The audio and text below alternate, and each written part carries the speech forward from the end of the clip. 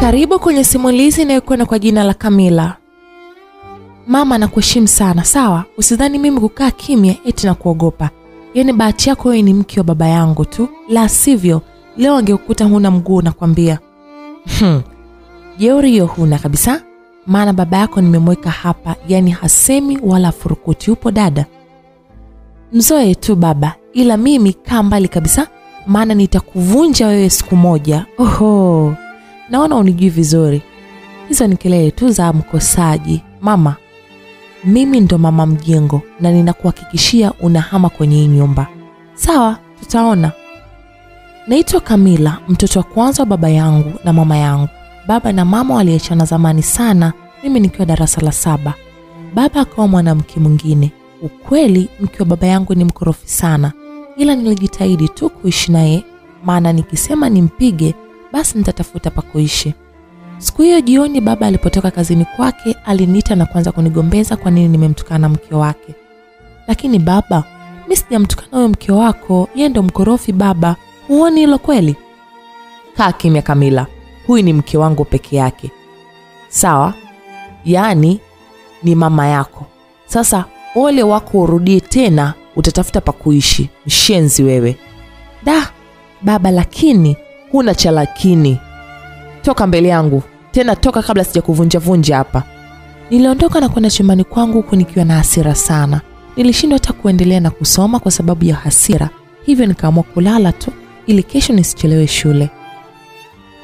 We mshenzi, embu amka, uko nalala mpaka saizi kwa kipi hicho nacho? We mwanamke wewe, mi sio mshenzi sawa? Mi naitwa Kamila sawa? Embu amka huko ufanye kazi unipikie, mimi nahisi njaa bwana. La, kazi ndo sifanyi na ninaenda shule. Kama huwezi kupika kufa na njia hapo. Sasa wewe ondoka, ila jua tu kuwa leo ndo mwisho wako kuishi humo ndani. Nimeshazoea maneno yako bibi wewe, na shule ndo naenda na huna la kunifanya. Nilijiandaa na kwenda shule, hapo nipo kidato cha tatu na kumwacha huyo mke wa baba akigomba peke yake. Hapo najua tu kipigo kinanihusu kutoka kwa baba, maana alishanikataza kabisa kugombana na huyo mke wake. Kamila, leo umechelewa shule rafiki yangu. Vipi tena? Oya, acha tu rafiki yangu, ni yule mwanamke kazi yake ni kugombana tu na mimi. Pole yake ushoga yangu, embu tena darasani, maana kuna maswali yayo kibao kweli kweli. Da, umenikumbusha ujue, jana sikumaliza homework tulipewa na ticha Mike, sijui hata itakuwaje. Eh, yani shoga yangu umeatimba kabisa, yani hmm, Mr Mike kabisa, yani sijui tu, na nahisi hasira zote za kumkataa zitaamia kwenye homework. Jamani, si ataniua huyu kwa viboko yule. Yaani acha tu nikupe pole, maana ticha Mike atakupiga mno bwana. We liwalo naliwe mi naingia class. Niliingia darasani nikiwa na wasiwasi sana kuhusu ticha Mike. Mwalimu alinitongoza kwa muda mrefu sana, lakini mimi nilimkataa na kumtishia kumshtaki kwa mwalimu mkuu. Sasa leo ni miaka nyaga Kamila mimi jamani.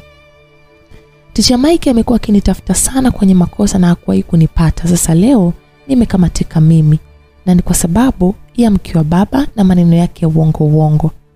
Kama ticha alijua sijafanya homework, muda huo huo aliingia darasani na kusema tukusanye daftari, na kama hujafanya pita mbele na upige magoti.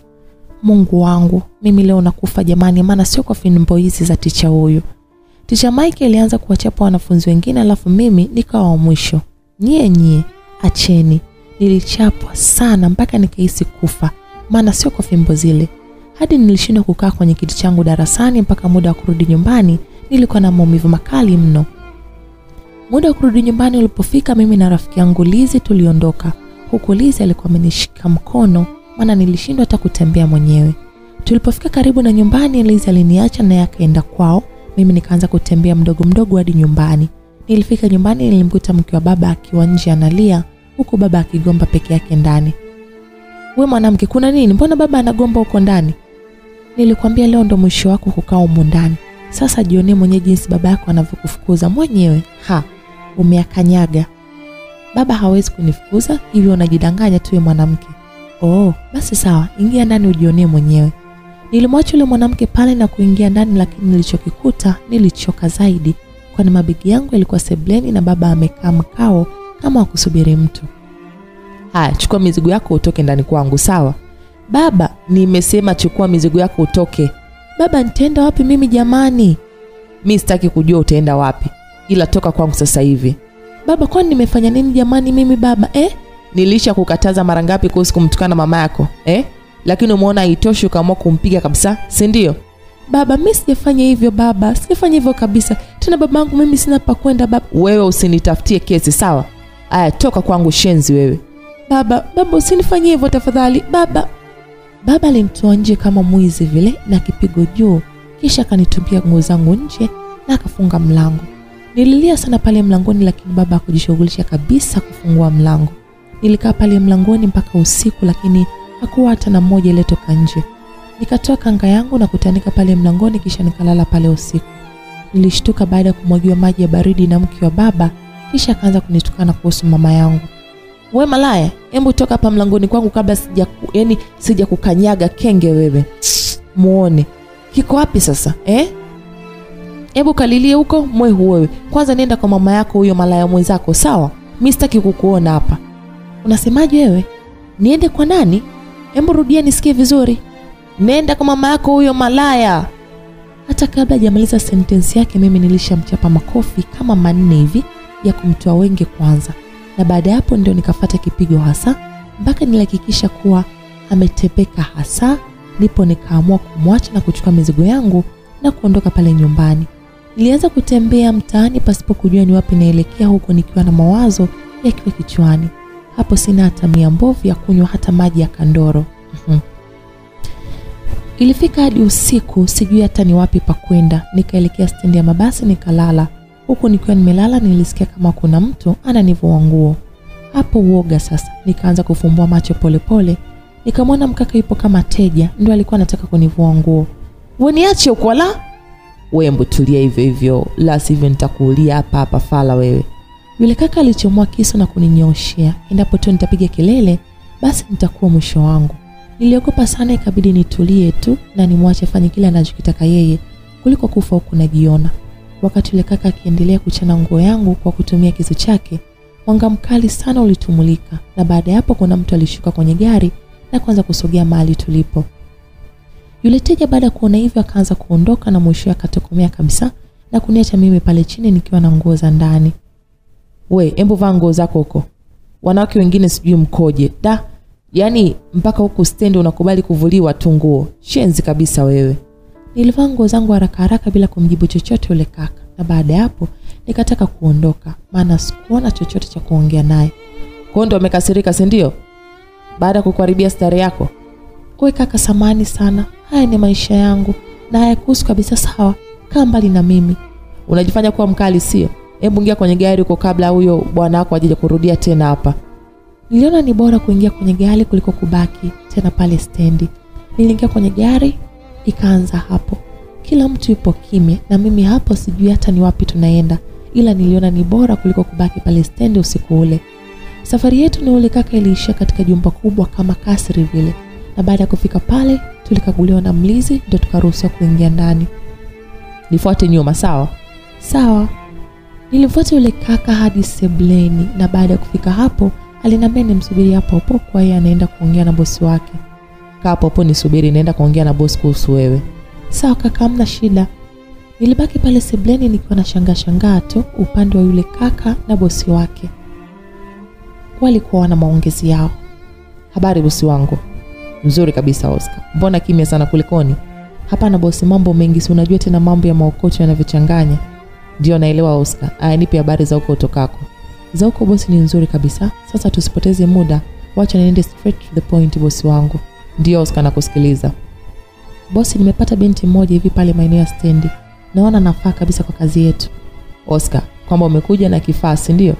Isije kuwa ni wa vyombo wa ovyo Oscar. Hapana bosi. Si unajua mimi sinaga shiombovu, yani mtoto amenyooka mno. Kwa hiyo hapa pesa ni ya kugusa tu. Kabisa bosi wangu tena na wale wateja wako wanaopenda dogodogo, huyu anawafaa kabisa. Achana na hawa wako waliochokachoka hao. Oscar, mbona unampamba hivyo? Wacha nikamwone mimi mwenyewe kwanza. Sawa bosi, hamna shida, twende tuiko sebleni pale. Yule kijana alifahamika kwa jina la Oscar akaja sebleni pamoja na bosi wake huyo. Mtu mwenyewe ndo huyo hapa bosi. Sawa Oscar, nimemwona. uh, sijui hata unaitwa nani naitwa Kamila. oh yes huyu hapa anaitwa madam leila ni bosi wangu Sawa, nafurahi sana kukutana na wewe Madam Leila. Karibu sana kamila Utakuwa unaishi hapa na wenzio, sawa? Sawa madam, asante sana. sasa madam kama kawaida zingatia hayo maokoto chapchap Usijali Oscar, mimi na wewe tena. Kuwa na amani, pesa ipo. sasa kamila mimi naondoka utaishi hapa sawa Asante sana Oscar. Oscar aliondoka na kuniacha pale pamoja na yule mama Madam Leila. Sasa Kamila, kwa sasa utaanza kazi kwanza, itabidi uanze English course na mambo mengine mengi kabla wewe kuanza kazi, sawa? Sawa madam, amna shida, asante sana. Usijali, atuna nikuonyeshe chumba chako, maana wenzio hawapo, wametoka kwenda mjini. Sawa madam. Madam Leila alinipeleka hadi chumbani. Nyie, chumba ni kizuri jamani, sijawahi hata kuota kuishi katika nyumba kama hiyo. Sasa Kamila, this is your room. Enjoy. Asante madam. Nilibaki peke yangu mule chumbani huku nikikagua kagua mule chumbani na baada ya hapo nikaingia bafuni nikaoga kisha nikaenda kuulizia chakula maana nilikuwa na njia ya mwaka jamani. Kamila, unajua natafuta chakula. Ingia tu pale jikoni, kuna chakula sawa? Sawa madamu, asante. Niliingia jikoni nikakutana na chakula. Nilikula niacheni tu maana sio kwa njia ile. Na baada ya kushiba nikarudi sasa chumbani kwangu. Hivi ni kazi gani ambayo naenda kuifanya maana nimekubali kubali tu bila hata kuuliza chochote. Ah, ila ni bora kwa hapa kuliko kwa baba yangu asinijali wala nini. Niliwaza sana mwishoni nikaamua kulala tu maana sikuwa na cha kufanya. Niliamka baada kusikia kelele nyingi za wadada wakicheka sebleni. Habari zenu? Nzuri, karibu. Asante sana. Baada ya salamu, kila mtu alikaa kimya. Wengine walikuwa biza na simu zao, wengine walikuwa biza na stori zao. Nikaona ni bora nitoke tu nje nikashangae shangae huko. Hai, mi naitwa Nancy. Wewe unaitwa nani? Mi naitwa Kamila. Wow, una jina zuri kweli. Anyways, mimi ni mgeni pia kama wewe, nina siku mbili tu hapa. Oh, kumbe vizuri, nimepata mgeni mwenzangu. Sawa besti. Ya besti.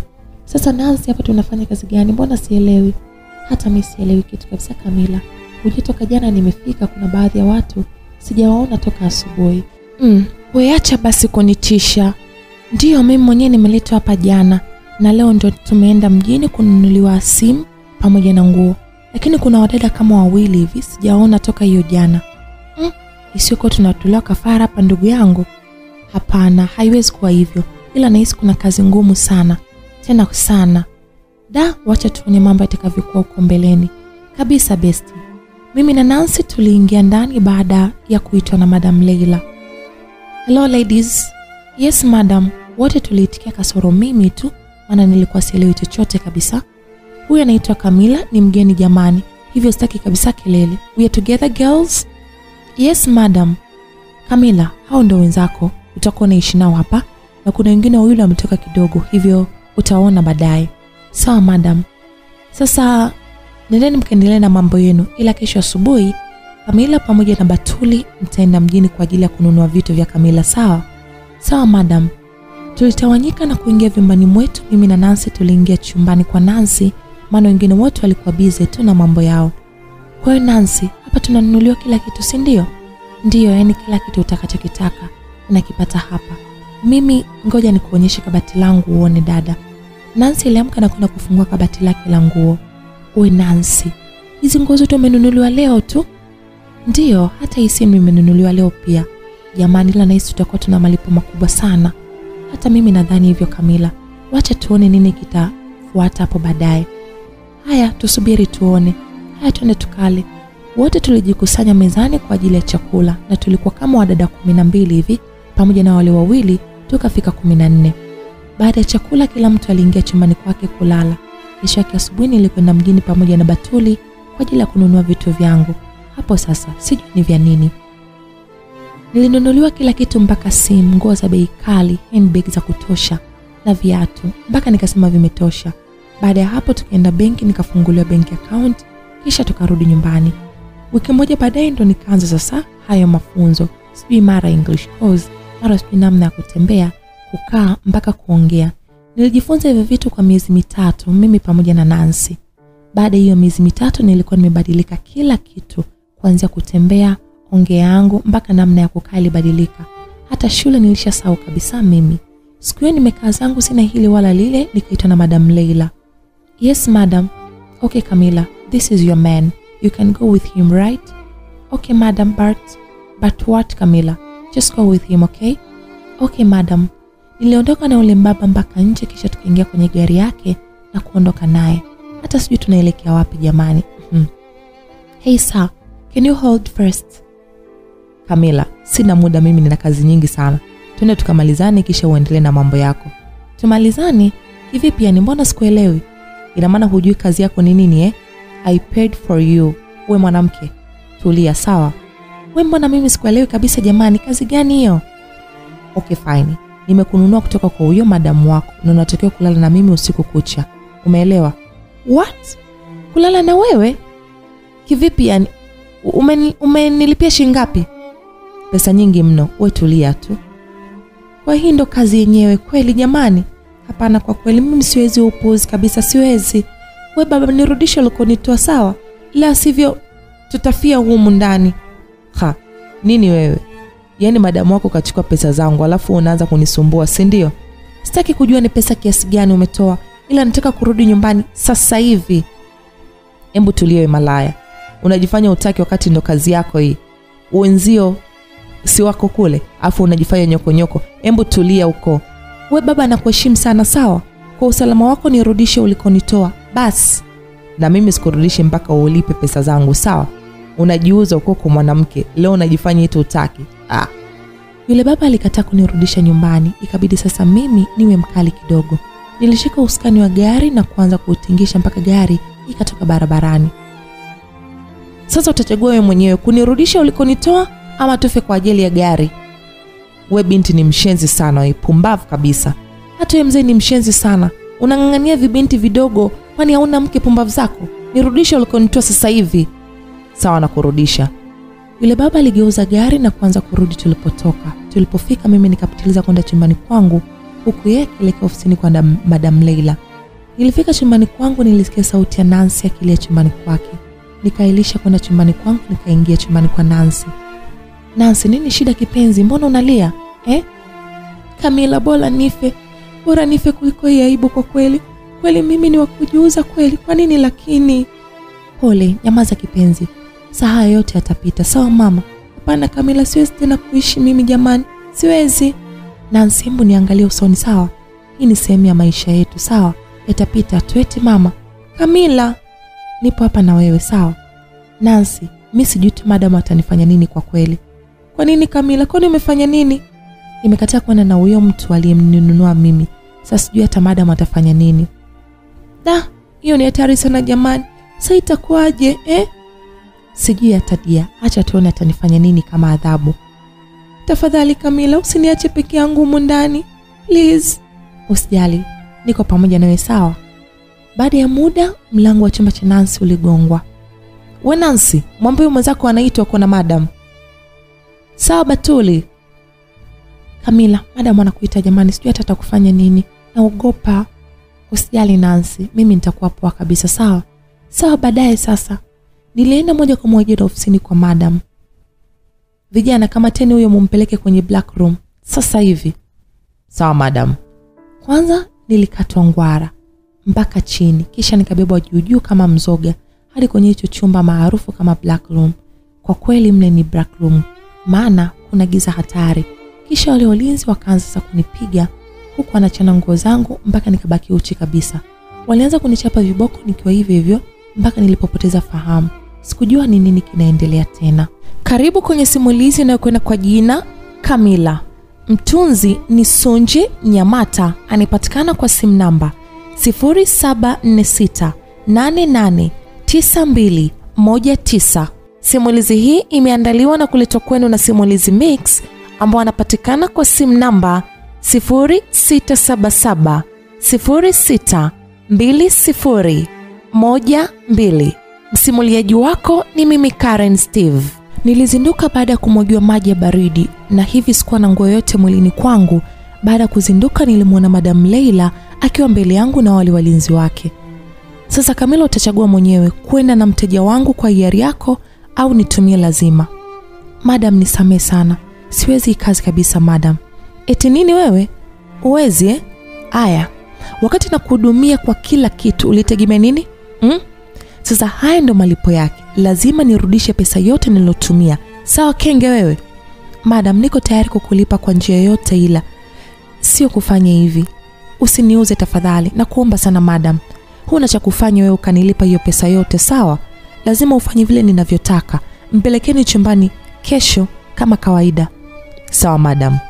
Nilibebwa na wale walinzi mpaka chumbani kwangu. Nililia sana baada ya kujua kuwa kazi yetu sisi humu ni kununuliwa na wanaume tofauti tofauti. Nililia sana na kumlaumu sana baba yangu kwa kunifukuza nyumbani. Nililia mpaka usingizi ukanichukua nikiwa hivyo hivyo mpaka asubuhi. Kamila, fungua mlango. Mimi nansi nansi karibu, ingia tu ndani. Vipi Kamila, unaendeaje? Madamu hajakuumiza kweli? Hapana Nancy, niko poa, niko poa kabisa, usiwe na wasiwasi, sawa? Kweli kabisa Kamila? Ya, niko poa kabisa. Nisubiri hapo tuende sebleni, sawa? Sawa dia, na kusubiri Niliingia bafuni na kumwacha Nancy mle chumbani. Nilioga kisha tukaelekea sebleni kwa ajili ya kifungua kinywa. Kila mmoja akaendelea na mambo yake. Siku hiyo sikuwa kabisa na mudi ya kuongea na mtu. Baada ya chai, nilirudi chumbani kwangu na kujifungia. Hivi ni mimi tu mwenye shida kwenye hii dunia ama ni vipi jamani? Kwanza mama aliniacha na sasa hivi pia baba akanifukuza, na kubwa zaidi, natakiwa kulipa pesa za watu tena kwa kujiuza. Kweli jamani, sijui hata ni nini nitafanya ili niweze kuwa huru tena, lakini haya yote ni kwa sababu ya baba, na lolote lile baya likinikuta, basi wakulaumiwa ni baba. Nilikaa chumbani mpaka jioni bila kuongea wala kuonana na mtu.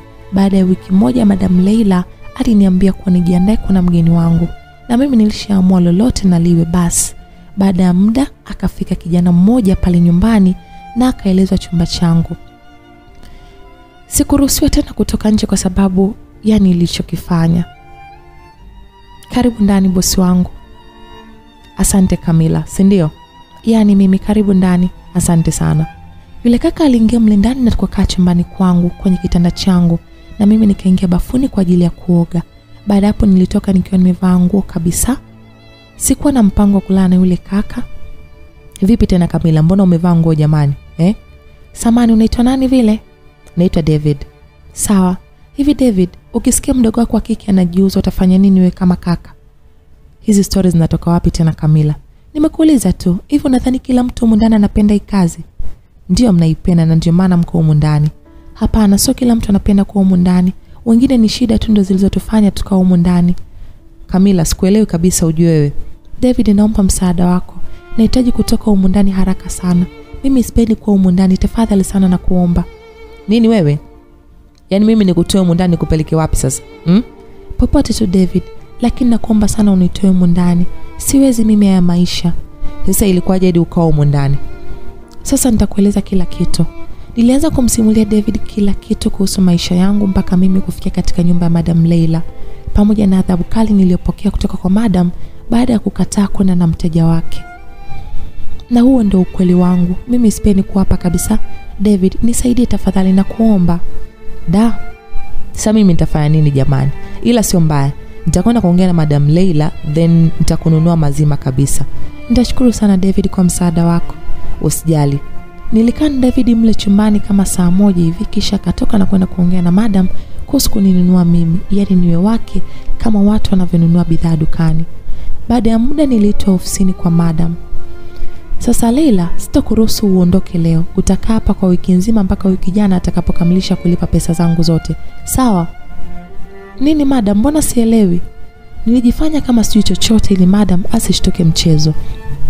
Huyu kijana hapa amekuchukua wewe na utakuwa chini yake. Hivyo utaondoka hapa baada tu yeye kumaliza kukulipia, sawa? Lakini madam, nilijifanya kama sitaki kabisa kuondoka mle ndani, ila madam alizidi kuamini kuwa sijui chochote. Kamila, kaa kime sawa, na kwanza toka ofisini kwangu. Kwanza nimeshamalizana na wewe. Nilitoka mle ndani ya ofisi na kumwacha David akiongea na Madam Leila. Hapo niliona kabisa matumaini ya mimi kutoka humo ndani. Baada ya David kuongea na Madam na kukubaliana kila kitu, David aliondoka na aliniambia kuwa atarudi wiki ijayo kumaliza pesa iliyobaki. Sawa David, nitashukuru sana. Usijali Kamila, wacha mimi niende, tutaonana wiki ijayo nikija kukuchukua, sawa? Sawa David. Baada ya David kuondoka, nilirudi chumbani kwangu nikaanza kabisa kupanga nguo ili siku ya kuondoka ikifika tu basi mimi huyo naondoka zangu. Kamila, fungua mlango, mimi Nancy. Oh Nancy, pita tu, mlango uko wazi dia. Mbona unapanga nguo? Unaenda wapi tena jamani? Nancy, kuna mtu ameninunua kutoka kwa madam, hivyo wiki ijayo anakuja kunichukua. Jamani, sasa mimi nitabaki na nani humu ndani eh? Usijali dia, na wewe utatoka tu. Mimi mwenyewe sijui hata kama huko ninakoenda kuna usalama, na ndio itakuwa kama ya huku, hata sielewi. Bora wewe, ila usisahau kuwa mimi niko hapa. Sawa kipenzi? Sawa, usijali mwaya. Siku hiyo iliisha hivyo. Kesho yake asubuhi niliitwa na madamu ofisini kwake. Kamila, jiandae, kuna mteja anakuja sasa hivi. Mteja tena madam au David? Sitaki hiyo maswali yako. Sawa, nenda kajene kuna mteja. Basi sawa madam. Yaani huyo mteja awe tu na nguvu, la sivyo nitamuulia humo ndani. Yaani huyu mama aridhiki na hela. Ni jana tu David kamlipa hela, lakini leo ananiletea mtu mwingine tena. Acha nimpigie simu David aje, maana hapa sijui tu ni nini kitatokea. Nilipiga simu. Hello David, njoo kwa haraka unichukue jamani, kuna shida. Nini Kamila, kuna nini tena huko? Madam amesema kuwa kuna mteja anakuja na mimi ndio natakiwa kumhudumia. Uwai tafadhali David. Sawa, nakuja sasa hivi. Sawa, asante sana. Nilibaki nazunguka zunguka mle chumbani kwangu nisijue ni nini cha kufanya. Baada ya muda mlango wangu uligongwa, nikajua atakuwa ni David ndo ananitafuta. Karibu de Nilikutana na mtu tofauti kabisa pale mlangoni.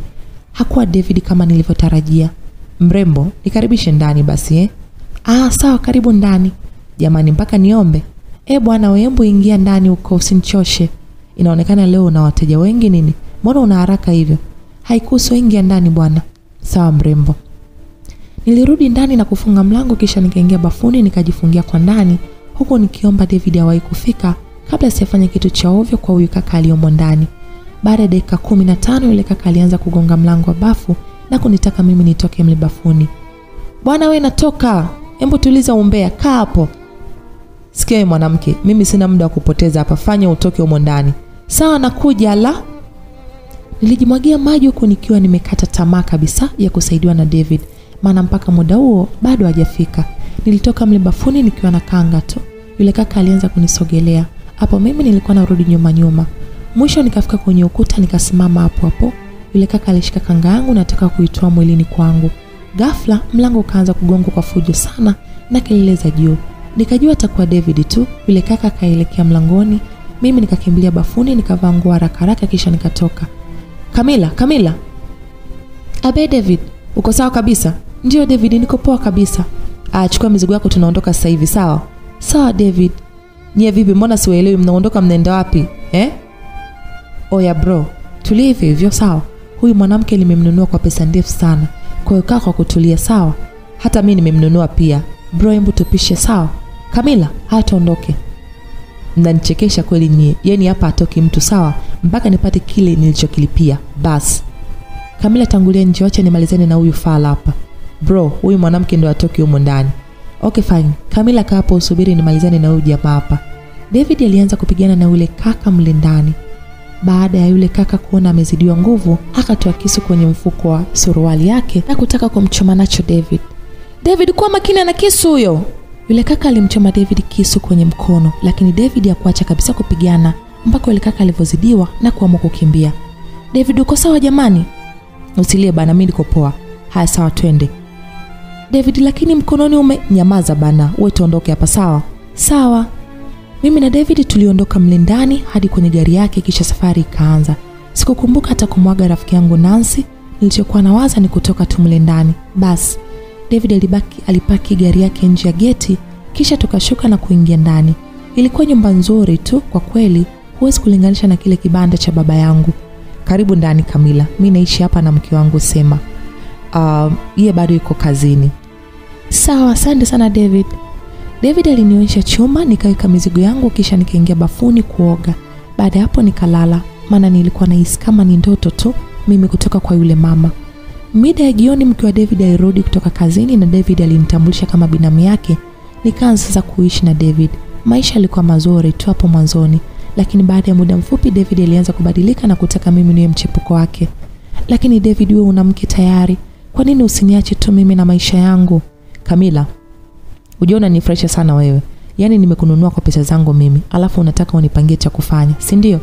Sio hivyo David, acha basi, acha nitafute kazi, nitakuwa nakulipa pesa yako kidogo kidogo. Sina shida na pesa. Sawa, mimi nakutaka wewe hapo. Basi sawa, nivumilie hii wiki ishe. Sipo vizuri kabisa leo. Ole wako sasa uende kinyume na hivyo. Hatutoelewana kabisa. Sawa David, hamna shida. Baada ya kujitetea sana kwa David ndo akatoka chumbani kwangu. Nilibaki na mawazo sana kwani sikujua ni jinsi gani nitaendelea kumkwepa David na ukizingatia sina hata pa kuishi. Baada ya wiki moja nilimwahidi David hatimaye iliisha na David akaanza upya tena kunisumbua. Sikuwa na namna zaidi ya kutoroka nyumbani kwake, maana sikutaka kumsaliti mke wake, aliishi na mimi kama ndugu yake. Baada ya kutoroka kwa David nilimuja kabisa laini yangu na kusajili laini nyingine. Na nilipata pesa kidogo nikaenda kupanga chumba kimoja. Niliuza baadhi ya nguo zangu zile nzuri nzuri na pesa nilopata nilitumia kufungua genge pale mtaani nilipokuwa naishi. Maisha yakuwa mepesi hata kidogo kwani sikuwa hata na wateja wa kununua mboga mboga gengeni. Ila nilijipa moyo hivyo hivyo. Nilipoanza kupata wateja japo mmoja mmoja maisha yakaendelea. Siku nilichukua pesa yote na kwenda kununua bidhaa kwa ajili ya genge langu. Niliporudi nikakutana na mwenye nyumba wangu akiwa ananisubiri pale gengeni. Binti, naona unajisahau kabisa. Kama unatakiwa kulipa kodi, si ndio? Hapana baba, sio hivyo. Nivumilie tu kidogo, nitakulipa pesa yako yote. Sijaja hapa kukusikiliza hayo maneno yako, sawa binti? Nachotaka mimi ni pesa yangu tu, na kama huwezi kulipa basi kubali ombi langu, utaishi kwa amani kabisa. Hapana baba, siwezi kwa kweli. Pesa yako nitakulipa wiki ya iishi baba yangu. Shauri yako binti, utapitwa na mema ya nchi, ila nakupa siku mbili tu, la sivyo unaama kwangu, sawa? Sawa baba, nitakulipa. Baada ya baba mwenye nyumba kuondoka, niliishiwa kabisa na muda ya kuendelea kupanga zile bidhaa gengeni kwangu. Sikuwa hata na pesa ya kumlipa baba mwenye nyumba, maana hata biashara yangu haikuwa vizuri kabisa, na baba mwenye nyumba yangu alikuwa akitaka mimi niwe mpenzi wake. Hatimaye siku mbili nilizopewa na baba mwenye nyumba zikaisha, lakini sikumwona akija kunidai. Basi nikajua ameniongezea siku kama nilivyomwomba, kumbe nilikuwa najidanganya. Siku hiyo jioni, wakati natoka gengeni kwangu, nikasikia kelele kutoka mtaani kwangu. Nilipofika karibu na nyumba kwangu, niliona kundi kubwa la watu wamesimama nje ya mlango wangu. Ikabidi na mimi niongeze mwendo mpaka karibu kabisa la lile kundi la watu. Nilikutana nacho pale, niliishiwa kabisa nguvu, nikakaa chini, kwani vitu vyangu vyote vilikuwa nje na mlangoni kulikuwa kuna kufuli jingine kabisa tofauti na langu. Yaani nilichoka kabisa, na hapo ni jioni kabisa, sina hata pa kwenda. Watu walikuwa wananishangaa tu hapo. Nilikusanya vitu vyangu, maana sikuwa na vitu vingi sana. Nilikuwa na godoro, nguo na vyombo. Nilikusanya vitu vyangu na kuanza kuondoka pale nyumbani. Nilikuwa natembea barabarani nikiwa na mawazo sana na sikujua ni wapi nitalala leo. Dada, kuwa makini basini barabara. Samani sana kakaangu. Pole, unaonekana hauko sawa. Asante, niko poa. Mbona? Kama utojali, ingia kwenye gari nikusindikize unakoenda. Hapana, asante, nimeshafika, ni hapo tu. Ingia tusiwe na wasiwasi. Alafu sasa hivi ni usiku na ni mtoto wa kike. Kaka, asante, mi niko sawa. Unajua hata mimi nina wadogo zangu wa kike na ninawajali sana, na wewe ni sawa na wao. Ingia tu kwenye gari twende. Alafu haya mazingira sio salama kabisa, na sasa hivi ni saa moja. Sitakuwa na amani kama nikisikia umepatwa na kitu chochote kile. Asante sana, ila siwezi. Nilishapanda gari ya mtu na yalinikuta makubwa. Usijali, wewe ingia tu, siwezi kukufanyia kitu cha ovyo. Sawa, nipeleke hotelini tu. Sawa, hamna shida. Nilikuwa na wasiwasi sana, lakini sikuwa na namna zaidi ya kupanda kwenye lile gari hadi hotelini. Haya, tumefika sasa. Asante. Nilishuka kwenye gari nikashusha mizigo yangu, kisha yule kaka akaondoka na mimi nikabaki nimesimama pale nje. Sasa samani, sina hata pesa ya kulipia chumba kwenye hiyo hoteli. Sijui hata nitafanyaje jamani, yule kaka eh, hajui hoteli za bei rahisi jamani. Eh, nilisimama pale mawazo kichwani, nifanye nini? Maana pesa nilionayo haitoshi kabisa kulipia chumba hata kwa siku moja. We dada, mbona bado umesimama hapo nje au unaogopa kuingia ndani? Mm, yani mimi kabisa niogope? Niogope nini sasa? Kama uogope, mbona bado uko hapo hapo nje sasa eh? Kwanza umesahau nini? Mbona umerudi? Nimesahau namba yako ndio maana nimerudi, ila acha nikupeleke ndani, maana sio kwa uoga huo. Hapana, nitaingia tu mwenyewe, huna haja ya kunipeleka hadi ndani. Twende ndani bwana, we mbishi sana. Ndo nini bwana? We mimi sina pesa ya kulipia humo ndani, ndio maana niko hapa nje. Kwa hiyo utalala hapa nje ama nini? uone nenda zako bwana, nitajua nini cha kufanya. Basi sawa. Yule kaka aliingia kwenye gari kisha akalipeleka gari hadi sehemu ya parking. Akarudi nilipo akachukua mizigo yangu na kwenda nayo ndani ya hoteli. We kaka jamani, mimi sina hela jamani nini? Yaani watu wengine sijui wapoje jamani. Sasa mimi nitalipa nini humo ndani? Hebu njoo basi usubiri wewe. Ah. Lakini si nimekuambia kabisa sina pesa ya kutosha kulipia chumba. Usijali wewe nenda kapumzike mimi nitalipa kila kitu. Hapana haina haja. Jamani huyu mgeni wangu atapumzika hapa kwa leo, nitakuja kumchukua kesho asubuhi. Baada yule kaka kuongea na mhudumu wa hotelini, alinikabidhi funguo ya chumba kisha akaondoka. Nilichukua zile funguo hadi chumbani kwangu. Nilifika na kulala maana nilikuwa nimechoka sana na mawazo niliyokuwa nayo kichwani ndio alizidi kunichosha. Asubuhi niliamka nikauka kisha nikakaa tu kitandani. Hapo nawaza nitakula nini maana nina shilingi elfu tano tu niliyouza jana gengeni. Nikiwa kwenye mawazo, mlango wa chumba changu uligongwa. Karibu. Asante, kuna mgeni wako anakusubiri kule chini. Sawa, nakuja sasa hivi. Nilifunga mlango na kuelekea mapokezi kuonana na huyo mgeni wangu. Za asubuhi. Nzuri tu, sijui wewe. Nzuri pia. Nimekuja kukufata, twende nyumbani. Nyumbani? Nyumbani kwa nani? Nyumbani kwangu. Au una mpango wa kuendelea kukaa hapa tena? Hapana, sina mpango wa kukaa hapa tena, ila siwezi kwenda kwako. Basi sawa, chukua mizigo yako twende, nina nyumba nyingine utakuwa unaishi huko. Mm, we kaka, twende bwana, au unataka nikuache hapa ili ukose hela kulipia ni niwaambie wakupe kazi ya kuosha vyombo, si ndio? Hapana, kwa kweli twende tu. Nilirudi chumbani kwangu nikachukua mizigo yangu hapo chumbani. Hata jina la ukaka nilikuwa silijui. Mara ya kwanza nilisaidiwa na Oscar akanikuta. Mara ya pili David, sasa hivi tena huyu kaka. Jamani, sio hata nini cha kufanya, ila acha tu niende naye, nikishindwa nitatafuta njia ya kutokea. Basi niliondoka na yule kaka mpaka kwenye apartment moja nzuri kweli kweli jamani, hadi nikaanza kupata wasiwasi, maana hizi nyumba nzuri zinakuwaga na ma, mambo mazito kweli kweli. Karibu ndani mgeni, mbona unashangaa hivyo? Asante sana. Alafu unaitwa nani kwanza? Naitwa Ibrahim. Na wewe mgeni wangu? Naitwa Kamila. Wow, karibu ndani sasa. Asante. Sasa Kamila, mi naenda kazini, nitapitia hapa jioni kukuletea vitu sawa, maana umu bado hapajakamilika. Asante, la haina haja, mi nitaishi tu hivi hivi. Kwanza msaada wako unatosha kabisa. Sawa, ila mi bado sijamaliza. Sawa Kamila, kaa tu kwa kutulia. Sawa, asante Ibrahim. Karibu. ibrahimu aliondoka na kuniacha mimi mule ndani nikizungukazunguka. Nyumba ilikuwa na vyumba viwili vya kulala, sitting room, jiko zuri kweli kweli. Nikachukua nguo zangu hadi chumbani nikapanga kwenye kabati kisha nikaanza kufanya usafi mle ndani. Kulikuwa na vumbi la kutosha. Nilimaliza usafi wa ndani kisha nikahamia nje. Nikaanza kutoa nyasi nikasafisha hasa ili hata mwenye nyumba akirudi anisifie. Nikiwa naendelea na usafi nilisikia honi getini. Nikaenda kufungua, alikuwa ni Ibrahim. Alikuwa na mizigo mingi jamani, chakula, mashuka ya chumbani, vyombo vya ndani. Nilifurahi kwa kweli, yani nyumba ilijaa haswa, mpaka nikatamani mimi ndo ningekuwa na vimiliki hivyo vitu, lakini ndo hivyo tena. Baada ya muda tulimaliza kupanga kila kitu, na baada ya hapo Ibrahim akaga kuwa anaondoka zake anaenda kwake. Nilisi mpweke kweli, maana Ibrahim ni mcheshi sana, yaani stori haziishi, muda wote ni kucheka. Baada ya Ibrahim kuondoka, nilibaki peke yangu, nikaingia jikoni kupika, maana nilikuwa na njaa hatari. Baada ya kula, niliingia chumbani kwangu kulala, maana nilikuwa nimechoka mno. Niliona niliamka jioni sana, nikaanza kuandaa chakula cha usiku, maana sikuwa na kazi ya kufanya zaidi tu ya kupika na kula. Basi mida hiyo ya jioni, Ibrahim anarudi tena kwangu, yani ilikuwa ni kucheka tu, maana sio kwa vituko vyake Ibrahim. Ila we Ibrahimu muongo kweli, yani hapo unanipa stori za uongo tu kweli tena Kamila. Yaani mimi kwenye masuala ya ngumi niko vizuri kweli, amna kitu kabisa. Shauri yako anjo basi ule, maana stori hizi haziishi kabisa. Wewe sawa mama, nakuja. Baada ya chakula, mimi na Ibrahim tulikaa sebleni tukaendelea na stori. Mida ya saa nne Ibrahim aliondoka na kwenda kwake, mimi nikaingia kulala. Mimi na Ibrahim tulizuiana sana, yaani kila muda yupo kwangu, ni stori tu mpaka raha jamani. Ibrahim asipokuja nyumbani kwangu basi mimi sijisikii vizuri kabisa. Yaani nisipomwona Ibrahim siku nzima basi nitakuwa kama mgonjwa vile. Ila kusema tu kweli Ibrahim ni mzuri kweli kweli, hata mimi sioni ndani. Nilicheka tu, lakini mwisho wa siku ndo hivyo. Sasa Kamila, wikendi uje basi kwangu, yaani kila siku mimi nipo kwako tu jamani. Ila kweli bosi wangu nitakuja.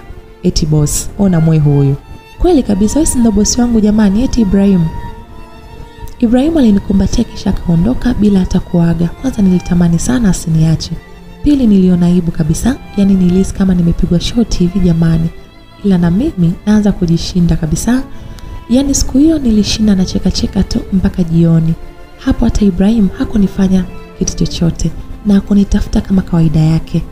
Basi bwana, weekend ilipofika tu mimi huyo nikajiandaa, nikavaa ile nguo yangu kimini, Ni- naenda zangu kama vile naenda kwenye interview, kumbe naenda tu kwa Ibrahim. Muda Ibrahim alifika na kunichukua hadi kwake. Jamani, ni pazuri, niacheni tu. Nilibaki na shangaa shangaa tu mpaka Ibrahim akaanza kunicheka, maana sio kwa ushamba huu jamani. Jamani Ibrahim, kumbe una nyumba nzuri hivi jamani. Eh, ona huyu jamani, hebu ingia ndani huko. Sawa bosi, ile nyumba yako ni nzuri sana eti. Basi sawa, tutabadilishana, mimi niende kule na wewe baki hapa, au unasemaje? Hapana bwana, mi kule kuna nitosha kabisa, na asante sana. Sijui usingetokea ingekuwa kwenye hali gani saizi. Umeanza sasa mama huruma, hebu twende ndani bwana. Asante kwa kweli Ibrahim. Sawa mama mtu, twende. Tuliingia ndani kwa Ibrahim. Jamani, ndani ndio usiseme kabisa, maana sio kwa vitu vile vizuri jamani. Karibu sana Kamila, hapa ndo kwangu ninapogalagala na kuweka fuvu langu. Fuvu tena jamani, yaani sisi maskini ndo tuna mafuvu, lakini nyie watu na pesa zenu mna vichwa. Sawa, karibu sana. Asante sana Ibrahim. Ujua leo nimepika toka asubuhi, yaani wewe njoo tu uone. Acha basi, ngoja nije nione. Tulianza kula chakula cha mchana nyumbani kwa Ibrahim na baada ya chakula tukakaa sebleni. Tukawa tunaangalia movie mpaka mida ya jioni. Sasa Ibrahim, si unirudisha nyumbani, muda umeenda sana. Mjamani, hapa leo talala kwangu. Nini wewe? Hebu acha masiara yako, nipeleke huko. Shua kabisa, leo talala hapa kwangu au utaki? Huyu anataka kunitia kwenye majaribu kabisa huyu jamani. Hapana Ibrahim, siku nyingine nitalala, leo nirudishe tu kwangu. Mm, jamani, haya sawa. Twende, ngoja nikachukue koti langu alafu tuondoke. Ibrahimu alielekea chumbani kwake akachukua koti. Hapo mimi najilaumu tu kwa nini nimekataa kulala wakati nilikuwa nataka kabisa kubaki na Ibrahimu. Yaani kusema tu ule ukweli, mi mwenyewe nilikuwa sijielewi kabisa nikimwona tu Ibrahim. Nakuwa kama taira tu muda wote na cheka cheka tu jamani. Ibrahim alinipeleka hadi nyumbani kwangu kisha akarudi kwake na mimi nikaingia chumbani kwangu kulala. Hata sikupata usingizi zaidi ya kukesha nikimwaza Ibrahim. Kesho yake nilichelewa sana kuamka kwani nilichelewa pia kulala.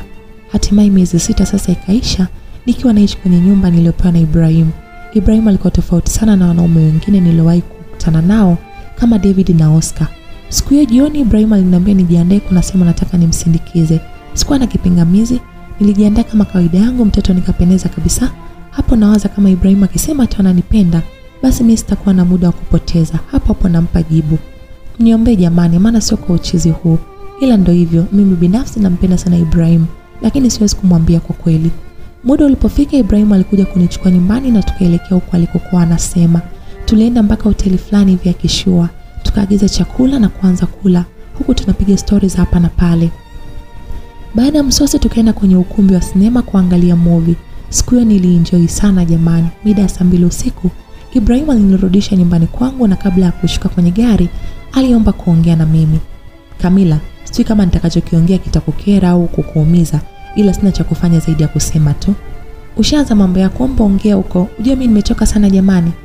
Kamila, mimi nakupenda tena sana, ila usinichukulie vibaya eti kwa sababu nimekusaidia ndo nifanye hivi. Hapana, kwa kweli na kama nimekukwaza mahali naomba unisamee tu, ila kwa kweli nakupenda sana tena sana Kamila, japo sikujui vizuri, ila mimi nachokijua ni kuwa nakupenda basi.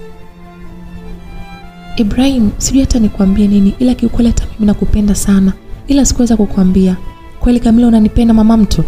Ndio Ibrahim, nakupenda, nakupenda sana Kamila, yani nakupenda sana jamani, nakupenda mno Ibrahim. Pia asante sana kwa kuwa na mimi. Sasa leo misiendi kwangu, nalala hapa na wewe mtoto mzuri. Mm, Ibrahim, nini utaki jamani nilale kwa Kamila? Basi naondoka, usiku mwema. Hapana Ibrahimu, usiondoke. Hivi ulidhani ningeondoka kweli? Wapi, lione lijinga hili. Hebu tuingie ndani.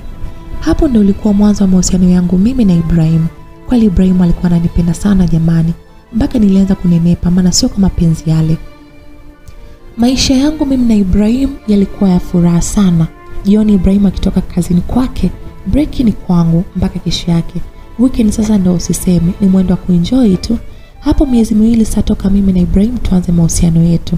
Siku hiyo toka asubuhi nilikuwa sijisikii vizuri kabisa, nikaona nimpe taarifa Ibrahim ili akitoka kazini twende hospitali.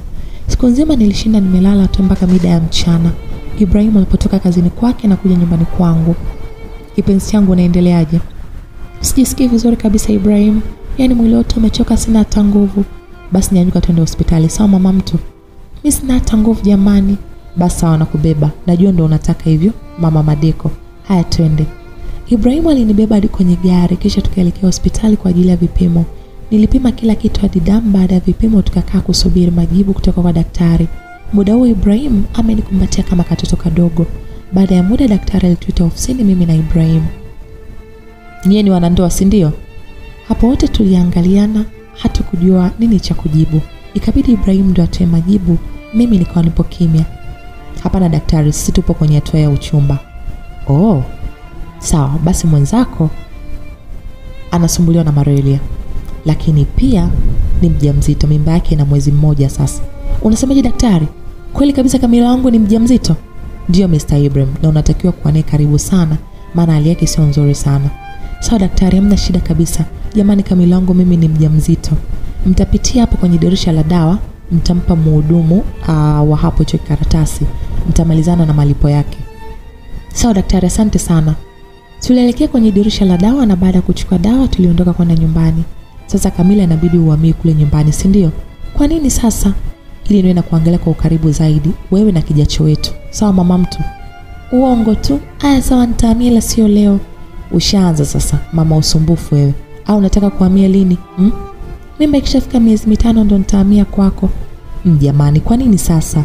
Basi tu unanifanyia tu makusudi wewe, ila nitakupata tu. Mapenzi kati yetu yalizidi kuongezeka mno, yaani kila sehemu tupo wote, mimi na Ibrahim. Tarehe za kliniki ikifika tu, Ibrahim anakuja kunichukua, tunaenda wote. Hapo mimba ishafika miezi mitatu. Siku hiyo jioni, nipo zangu nyumbani nimetulia, na msubiri Ibrahim atoke kazini. Mara nikasikia hodi getini, nikanyanyuka zangu na kwenda kufungua. Nilikutana na wadada wawili pale getini, nikawakaribisha hadi ndani. Karibuni ndani jamani. Asante sana. Walipoingia ndani, mmoja akafunga geti na mwingine akaanza kuongea. Sasa shoga yangu, yani nilijua tu Ibrahimu ana mwanamke wa maana, kumbe ndo hichi kinyago hapa. Tuulizane shoga yangu, mimi sioni hata alichonizidi hapa. Huyu takataka hmm. Ila shem naye jamani, huyu atakuwa mchawi huyu, kamroga Ibrahimu wangu mpaka ameniacha. Sasa leo ndio atajua kwa mume wa mtu sumu. Yaani leo atatubu dhambi zake zote. Kwanza tunaongea sana sho, hebu tum, tumuonyeshe nini anastahili huyu.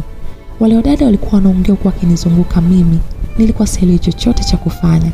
Walipomaliza tu kuongea, wakaanza kunipiga. Nyie acheni kabisa, walinipiga mno mpaka nikaishiwa nguvu. Walivyoona sasa siwezi kufurukuta tena, wakaondoka na kuniacha pale chini, sina hata nguvu ya kunyanyuka. Yani nilikuwa nalia tu, naomba mwanangu awe salama akiwa tumboni. Nilianza kujifuta na kuelekea ndani, nikachukua simu yangu nikampigia Ibrahim, na sikuwa na mtu wa kunisaidia zaidi yake. Nilijivuta hadi ndani, nikachukua simu na kumpigia Ibrahim. Hata sikuwa na nguvu ya kuongea tena, nilipoteza fahamu pale pale. Yaani macho yanakosa nuru, mwili wote ukaishiwa nguvu, na sikujua nini kinaendelea tena. Baada ya kufika ndani, nilizinduka nikiwa hospitali na dripu za kutosha, yaani mwili hauna nguvu kabisa. Pembeni yangu alikuwepo Ibrahim, macho yake yalikuwa mekundu kabisa dhahiri kabisa alikuwa akilia, na baada ya kuona nimeamka alifuta machozi na kwenda kumwita daktari. Unaendeleaje Kamila? Daktari, mtoto wangu ana hali gani? Daktari, niambie tafadhali. Usijali Kamila, mtoto yuko salama. Sawa, wewe pumzika kwanza ili upate nguvu. Hapana daktari, niambie tu kweli kama mwanangu yuko salama kabisa. Ndiyo Kamila, mtoto wako yuko salama, ila hali ya mtoto wako inategemeana na wewe mwenyewe, maana afya na uzima wa mtoto unategemeana na wewe Kamila. Sawa daktari, hamna shida nitamlinda mwanangu kabisa. Yani Mr. Ibrahim, unatakiwa kwa karibu sana na huyu mama kijacho, maana hali yake sio nzuri kabisa. Alafu atakapo hospitali kwa siku kama mbili hivi, ili tumwangalie kwa ukaribu zaidi. Sawa daktari, hamna shida. Mke wangu, pole sana jamani. Daktari aliondoka na kutuacha mle wodini, mimi na Ibrahim. Hapo mimi sitaki hata kuongea, maana nilikuwa na hasira sana. Yani mwanangu anataka kufa kwa sababu ya ujinga wa huyo mwanamke, tena mwanamke wake. Hapana, kwa kweli Kipenzi changu, najua una hasira sana na mimi, ila nisamee sana. Yaani sikujua kama yule mwanamke angefanya upuzi kama huo. Mamaangu, nisamee kweli tena. unajua nini Ibrahim, ni bora ungeacha maneno yako na ukakaa kimya, maana sina muda kusikiliza kabisa. Najua, ila sina cha kufanya zaidi ya kukwambia tu ukweli mama. Ibrahim, tutaongea tukifika nyumbani, kwa sasa niache tu, sawa? Sawa, hamna shida kipenzi changu. Nilikaa hospitali kwa siku mbili na baada hapo nirudi nyumbani kwangu, lakini jioni yake Ibrahim alikuja kunichukua nikahamia kwake rasmi. Hapo bado nina hasira naye, si msemeshi wala nini. Asubuhi kama kawaida, Ibrahim anakwenda kazini kwake na mimi nabaki nyumbani. Baada ya siku mbili, akamleta dada wa kazi. Alikuwa mama mtu mzima tu wa kumuita mama kabisa, nikawa naishi naye pale kwake. Siku hiyo jioni, Ibrahim aliwahi kutoka kazini na akasema kuwa yeye atapika chakula cha usiku, hivyo dada wa kazi apumzike tu. Ibrahim aliandaa chakula na wote tukakaa mezani kula. Stori zinaendelea. Jamani Kamila, mpenzi wangu, utakaa kimya hadi lini eh mama? Mpaka utakaponiambia ukweli kuhusu wewe na yule mwanamke wako. Basi sawa mama, nitakwambia kila kitu. Yule mwanamke ni kweli kabisa alikuwa mpenzi wangu, lakini niliachana naye na ndio maana niko na wewe tu mama mtu. Kwa hiyo ulimwacha tu bila sababu eti Ibrahim? Hapana, kusema ule kweli, nilimpenda sana, nilimjali na kumpa kila kitu alichokitaka, lakini yeye aliishi kwa kutoa mimba yangu, kunikana hadharani kabisa mbele ya wanaume wake, na hapo ndipo ulikuwa mwisho wetu. Pole sana jamani. Mimi pamoja na dada wa kazi tulimpa pole Ibrahim kwa pamoja. Asante sana, ila nakupenda sana wewe mwanamke, tafadhali usinifanyie hivyo jamani. Unavyotia huruma sasa, kama kweli ukweli tena jamani, huoni hadi nimeanza kukonda eti mama jamani, si ate unaona? Ni kweli kabisa kijana wangu. Kamila mama, msamie mwenzako. Sawa, mimi nishamsamee mbona, ila nilitaka ukonde kidogo. Mimi na Ibrahim tulisameana na kuanza upya kabisa penzi letu kama zamani, na Ibrahim alinifungulia duka la nguo karibu kabisa na nyumbani kwake. Nikiamka asubuhi najiandaa naenda dukani kwangu, mida ya mchana dada wa kazi anakuja, mimi naenda nyumbani kwa ajili ya kupumzika mpaka jioni. Mimba yangu ilipofikia miezi sita, Ibrahim akasema kuwa anataka kunipeleka kwao kunitambulisha, na kweli baada ya wiki moja Ibrahim aliomba ruhusa kazini kwake, tukaenda kwao sasa huko Arusha ndani ndani kabisa. Tulipokelewa vizuri kweli, na baada ya chakula cha usiku ndio Ibrahim sasa akanitambulisha kwa mama yake na baba yake pamoja na wadogo zake wawili wa kike. Nilifurahi sana, kwani walinipokea vizuri kwa kweli. Sasa kizaza kikaja kwangu, ni lini nitampeleka Ibrahim nyumbani kwetu, ili hali nilishafukuzwa na baba. Baada ya wiki moja turudi nyumbani kwetu, na mama mkwe wangu aliniambia kuwa mimba ikifika miezi nane tu nirudi kuja kujifungua. Tulifika nyumbani salama kabisa. Hapo Ibrahimu ananiangalia kama mtoto mdogo. Bwana Ibrahimu akaniambia kuwa tuandae pati ndogo, kualika marafiki zake wa kazini ili waje nyumbani ili wapate taarifa kuwa anataka kuniona na pia atanivalisha peti ya uchumba. Nyie acheni tu, nilikuwa na furaha sana mpaka nikatamani kupaapaa hivi. Basi tukafanya maandalizi yote ya pati, ilipangwa siku ya weekend. Siku yenyewe ilipofika, tukaandaa vitu vyote, mimi pamoja na dada wa kazi, na mida ya jioni jioni wageni wakaanza kuingia. Baada kidogo Ibrahim naye akafika. Niliingia chumbani kwangu nikajiandaa. Mtoto acheni kabisa, nilipendeza mno, maana nguo tu jamani ilikuwa nzuri, plus uzuri wangu wewe uniambii kitu. Muda wa sherehe ulipowadia, Ibrahimu akaanza kwa kuwashukuru watu wote kwa kufika na baada hapo akaanza kuwatambulisha marafiki zake na wafanyakazi wenzie. Sasa bwana, katika kutambulisha huko, si akamtambulisha David kama rafiki yake mkubwa. Nyie nyie, nilisi mkojo nataka kupita. Yaani David huyu huyu aliyeninunua kutoka kwa Danguro ndio rafiki wa Ibrahim. Sidhani kama David ataniacha salama jamani. Uwi, au nimwambie tu kweli mimi mwenyewe kabla hajasikia kutoka kwa mtu mwingine. Je, akiniacha jamani, mimi nitaenda wapi da? Niliishiwa pozi kabisa na hamu ya pati ikaisha kabisa. Baada ya utambulisho sasa, ikaja zamu yangu sasa kutambulisha kama mke mtarajiwa wa Ibrahim. Jamani, ningependa kuwatambulisha kwenu mke wangu mtarajiwa, mama kijacho wangu, si mama Kamila wangu. Njoo. Nilisimama kwa wasiwasi na kwenda mahali alipokuwepo Ibrahim, huku watu wakipiga makofi na vigeregere, wakati mimi hapo nahisi kuchanganyikiwa kabisa. Nilipofika pale mbele, David ni kama akuamini kabisa kama ni mimi maana sio kwa kunitolea huko macho, na mimi nikajikaza hasa nikamwangalia. Basi zoezi la mimi kuvishwa pete likakamilika. Baada ya hapo, watu wakaenda kupata chakula na kucheza mziki. Mimi nikasingizia kuwa nimechoka sana, hivyo nakwenda kupumzika chumbani kwangu. Niliwacha watu wakiendelea kucheza mziki na mimi nikaingia ndani kulala, maana mawazo niliyokuwa nayo sio mchezo kabisa, na hata sikujua watu waliondoka saa ngapi wala mume wangu alikuja saa ngapi kulala. Kesho yake asubuhi Ibrahim alikwenda kazini, nikabaki nyumbani, nikamwambia dada wa kazi aende tu dukani, mimi sijisikii vizuri. Baada ya watoto kuondoka, nikabaki peke yangu nyumbani. Nilikuwa nawaza namna ya kuongea na Ibrahim kuhusu kununuliwa na David kabla ya David kumwambia Ibrahim. Niliwaza mno mpaka nikahisi kichwa kinawaka moto kwa mawazo. Baada ya muda nilisikia mtu akigonga hodi getini kwangu. Nilipoenda kufungua geti, nilikutana uso kwa uso na David akiwa getini kwangu. Baada ya kufungua geti, alikuwa David. Mm, Kamila, siku nyingi. Mbona ulinikimbia sasa? Ulidhani sitokupata? Mm? David, naomba utoke kwangu. Sina cha kuzungumza na wewe kabisa. Najua, najua, najua kuwa huna cha kuzungumza na mimi, ila mimi ninacho cha kuzungumza nawe hapo. Sawa? Nakuomba utoke kwangu sasa hivi David. Mimi sio Kamila uliyemzoea, sawa? Aya, toka. Tulie mwanamke. Hivi unadhani nitamruhusu rafiki yangu kipenzi kabisa Ibrahim akuoe kahaba? Hmm? David nakuheshimu sana, sawa? Naomba utoke kwangu haraka, mshenzi wewe. Hata hivyo sikuja hapa kusikiliza vitisho vyako, sawa Kamila? Nimekuja hapa unisikilize na si kingine. David, sina muda wa kupoteza kuongea na wewe na kusikiliza, sawa? Tulia, una haja ya kupaniki hivyo, yani mchezo ndo kwanza umeanza. Sawa, machaguzi ni yako. Embu twende, toka hapa. Embu twende ndani kabisa, ili tuzungumze vizuri Kamila, maana nina mengi ya kuongea na wewe jamani, alafu nimekumisi mtoto. Acha tu David, uingie ndani kwangu, sawa? Na sina muda wa maneno yako machafu, sawa mshenzi wewe? Sawa, kama utaki niingie ndani kwako, nitamaliza kila kitu hapa hapa nje. Kamila, unisikilize kwa makini, sawa? Kwanza sahau kabisa wewe kuolewa na Ibrahim. Pili, ukitaka uendelee kubaki humu ndani na ukaishi kwa amani kabisa, kubali kuwa na mimi, la sivyo nitahakikisha huo uchumba wenu unavunjika kabisa. Kwa hiyo uamuzi ni wa kwako mama. Hata kama ungesema nini, siwezi kuachana na Ibrahim. Pili, kamwe siwezi kuwa hawara yako. Sawa David, katafute mala wenzako na sio mimi. Mm, ndio msimamo huo. Sio mbaya, nakupa siku mbili tu nipe jibu, bila hivyo ujiandae kutoka humu ndani na mabigi yako. Mpuzi wewe! Hivi David, unafanya yote ili iweje? m? Au unataka Ibrahimu akoe wewe, ndio maana unashupata shingo hivyo? Niambie basi nijue. David, unasemaje mwanamke? Nitakumaliza wewe. Tulia baba, tulia kabisa. Mbona una panic wakati hata sijamaliza kuongea? Shenzi wewe! Nilifunga geti na kumwacha David pale nje akiendelea kugombana peke yake. Mimi nikaingia ndani. Nitamweleza vipi Ibrahim jamani? Bora ningekuwa na mama, ningemweleza kila kitu. Sina hata kunishauri wala kumweleza shida zangu jamani. Mama uko wapi? Kwa nini unioni mimi mwanao unateseka jamani? Yaani nilianza kuona maisha sana magumu na sijui namna ya kumwambia Ibrahim kuhusu ukweli wangu.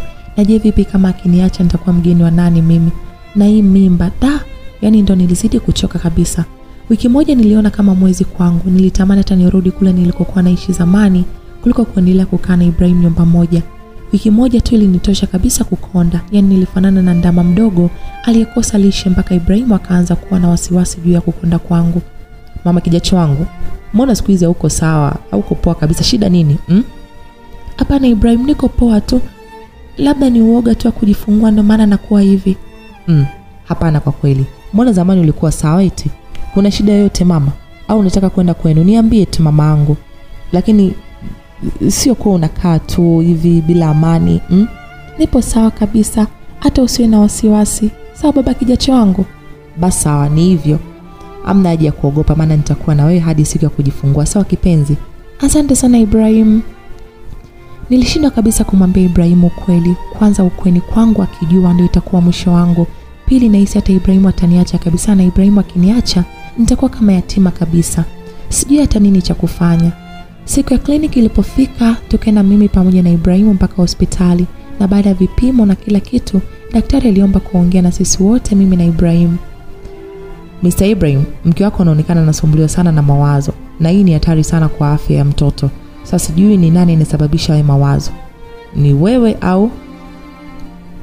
Hapana daktari, hata mimi nimejaribu kuzungumza naye, lakini aliniambia kuwa ni hofu ya kujifungua, ndio maana anakuwa hivyo. Mama Kijacho, una haja kuwa na wasiwasi, sawa? Utajifungua salama kabisa, usiwe na shaka, kila kitu kitakuwa sawa. Asante sana daktari. Mimi na Ibrahim tuliondoka hospitali na kurudi nyumbani. Hapo nilijitahidi kucheka cheka tu kama taira, ili mradi tu Ibrahimu asiniulize chochote, maana sikuwa na majibu kabisa kamila mimi. David hakuacha kabisa kunitishia mpaka akawa anakuja nyumbani kwangu usiku kwa kisingizio cha kuja kumsalimia rafiki yake. Nilikuwa nakosa amani pindi nimwonapo David nyumbani kwangu. Siku hiyo jioni, David alikuja nyumbani kwangu tena mapema sana kabla hata Ibrahim kutoka kazini, na akasema kuwa leo anakwenda kusema ukweli wote mbele ya Ibrahim, maana mimi nimeshindwa kutoa maamuzi sahihi, hivyo basi yeye atamaliza kila kitu. Nilimwacha David sebleni peke yake na mimi nikaelekea chumbani kwangu. Hapo sijui hata nini cha kufanya, nikawa nimekaa tu kitandani kwangu nawaza namna ya kuongea na Ibrahim pindi David atakapomwambia ukweli. Nikiwa sana hili wala lile, na kuja kushtuka David huyu hapa chumbani kwangu, tena hana hata wasiwasi kabisa. We mshenzi, umefuata nini chumbani kwangu? Hebu toka nje, mpuuzi wewe! Kamila, nilikwambia mimi ndio nitakayeamua hatima ya maisha yako toka siku nilipokununua kutoka kule kwenye danguro, sawa? David, nakuomba toka tu chumbani kwangu jamani. Ibrahim upo njiani anakuja. Unamwogopa sana Ibrahim, si ndio? Sasa ndio mwisho wako. Kamila, nilikupa muda wa kuamua cha kufanya, lakini ukajiona wewe ni kichwa ngumu, si ndio? Sasa leo mwisho wako. Wakati tunaendelea kubishana na David kuhusu kutoka chumbani kwangu, kumbe Ibrahim alishafika zamani sana pale chumbani, yupo tu mlangoni anatusikiliza. Hey David, kumbe ndo naimtishia mke wangu bila hata ya kujali hali yake? Hapana, sio hivyo bro, yaani huyu mwanamke sio kabisa, nakwambia. Muda huo mimi natetemeka, hata sijui nini cha kufanya wala cha kuongea. Muda huo maana Ibrahimu alikuwa na hasira mpaka amekuwa mwekundu usoni. Sasa kama ulikuwa unamjua kwa huyu mwanamke sio, kwa nini usingeniambia tu rafiki yangu, mpaka ukawa unamtishia tishia bila kujali kuwa ni mjamzito hmm? Yaani bro, huyu mwanamke alikuwa anajiuza huko na mimi nilim yani nilimfahamu kutokea huko, sio mwanamke kabisa huyu kaka, achana naye kabisa. Kwa na wewe ulikuwa ukinunua wanawake, si ndio? Wewe una mke wako kabisa David, ila hayo mimi anihusu Na kwa taarifa yako, mimi najua kila kitu kuhusu mke wangu, na mpaka niko naye hapa nyumbani, mimi najua kila kitu kuhusu yeye. Basi toka kwangu sasa hivi bro. Yani uko tayari tugombane kwa sababu ya mwanamke tu? Kweli kaka, huoni kama huyu mwanamke anatuchonganisha tu hapa? I'm not a fucking bro. Toka kwangu David. Na hivi sitaki ushenzi kabisa. Sio poa kabisa bro, ila sawa tu, mimi nasepa, ila jua mi bado nipo kama rafiki yako mkubwa. Toka kwangu ala. David aliondoka, kimeme kikabaki kwangu mimi na Ibrahim. Hapo sijui hata nini cha kuongea, maana Ibrahim alikuwa na hasira sana. Ulikuwa wapi kuniambia ukweli mpaka unakuwa unatishiwa kiasi cha kuhatarisha maisha yako na mtoto wangu hmm? Ibrahim, nisamee sana, mi sijui hata nilikuwa nawaza nini, ila nisamee sana jamani. Sasa hivi ndo unajua kuna kuomba msamaha, si ndio? Yaani siku zote hizo mimi nakuuliza shida nini, unanijibu kwa uko sawa, kumbe una matatizo kibao. Kweli Kamila? Ibrahim, mimi sina cha kusema zaidi ya kuomba msamaha wako tu, nisamee mimi jamani, nimekosa. Sikujua ni kwa mna gani nitakwambia ukweli mimi jamani. Sa Kamila, nahitaji kupumzika. Andaa mizigo yako yote tuende nyumbani kwako, siwezi kukaa na wewe humu ndani kwa sasa, nisije nikafanya kitu cha ovyo, sawa? Ibrahim, tafadhali nisamehe mwenzio basi. Kamila, nyanyuka hapo chini na ujiandae sasa hivi nikupeleke kwako, sawa? Sitaki hicho kibori chako. Sikuwa na namna, niliamka pale chini nikapanga nguo zangu kwenye begi, kisha Ibrahim akanipeleka hadi nyumbani kwangu. Hakuingia hata ndani, aliishia tu getini. Nilivyoshuka tu, kabla sijamwaga, tayari yeye alikuwa ameshaondoka zamani sana na kuniacha nikiwa nimesimama pale nje ya geti pamoja na begi langu. Niliingia ndani kwangu moja kwa moja hadi chumbani kwangu nikalala, maana sikuwa na hamu ya kufanya chochote kwa muda huo. Kesho yake asubuhi niliamka, nikapanga nguo zangu kwenye kabati, nikaoga, nikarudi tena kulala. Muda wa mchana, yule dada wa kazi alikuja nyumbani kwangu. Karibu mama. Asante binti yangu, habari yako? Nzuri mama, mbona umekuja huku tena? Bosi ameniambia nije nikae huku na wewe ili niwe na kuangalia. Oh, sawa. Yeye anafanya nini? Nimemwacha tu nyumbani. Sawa, karibu. Asante. Sasa tukawa wawili ndani, mimi na dada wa kazi. Ibrahimu alikuwa anakuja jioni, anaulizia tu hali ya mtoto ambaye bado hajazaliwa, kisha anaondoka, wala hakuwa na muda na mimi kabisa. Nilikuwa na mawazo sana mpaka nikaanza kukonda. Hapo ni wiki tu toka nirudi nyumbani kwangu. Sikio nikaamua tu kujitoa fahamu, nikajiandaa vizuri hadi kwa Ibrahimu, nikamweleza ukweli wote kuhusu mimi. Mama, mi nakwenda kwa Ibrahimu, nitarudi baadaye. Sawa binti yangu, kuwa makini na wewe kijacho wako. Sawa mama, asante. Nilichukua taksi hadi nyumbani kwa Ibrahim na nilikuwa na funguo ya nyumba, hivyo niliingia tu ndani moja kwa moja. Vipi, mbona asubuhi asubuhi, kuna shida kwani? Hapana Ibrahim, hamna shida yoyote, ila nimekuja kuongea na wewe. Nimechoka kuteseka kwa kweli. Kamila, naomba tu urudi nyumbani, sawa? Tutaongea siku nyingine, sawa? Yaani Ibrahim, mimi leo siondoke hapa mpaka tuongee. Kamila, kuwa mwelewa basi. nilijua tu lazima utanifokea kama babangu alivyokuwa anafanya. Hivi nyie wanaume mnajua ni maumivu kiasi gani huwa tunapitia baada ya nyie kunifukuza? Mm? Nakuuliza wewe. Kamila, naomba utulize hasira, sawa? Kumbuka una mtoto tumboni mama. Unadhani mimi sijui kama nina mtoto? Au unadhani mimi sijali kuhusu mwanangu eh? Unajua nini? Baba yangu mimi, yani baba yangu mzazi, alinifukuza nyumbani bila hata kunisikiliza. Huyo ni mwanaume wa kwanza. Oscar alinisaidia, lakini mwisho wa siku akataka kuniuza kwenye danguro. Unanisikia vizuri wewe mwanaume?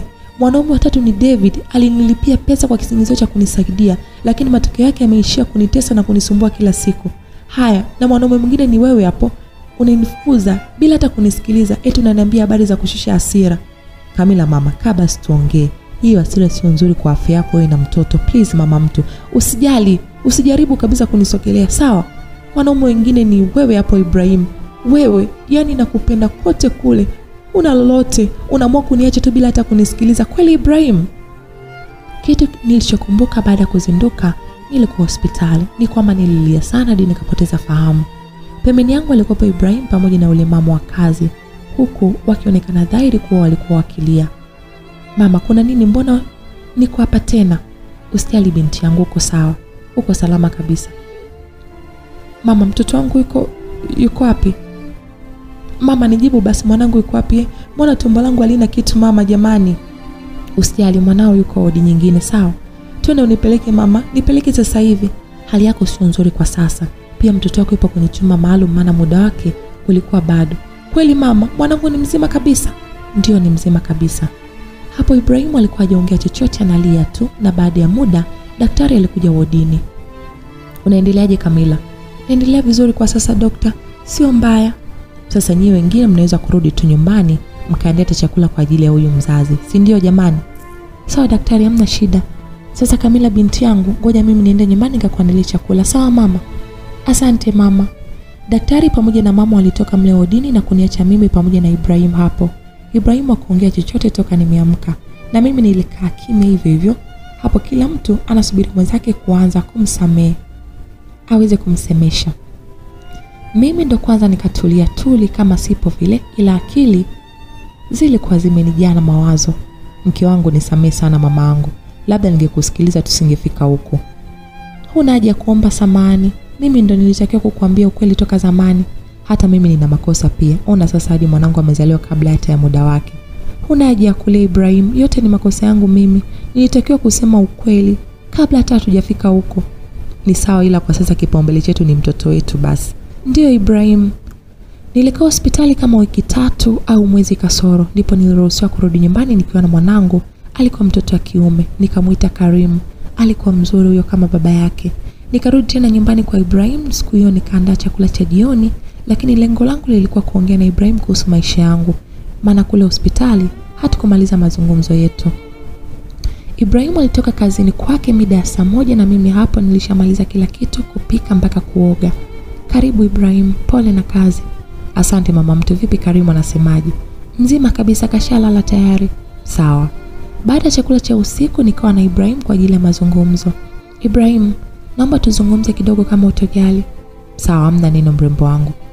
Ushaanza maneno sasa? Ndiyo jamani, uwe si ni mrembo wangu. Aya, sawa, na kusikiliza.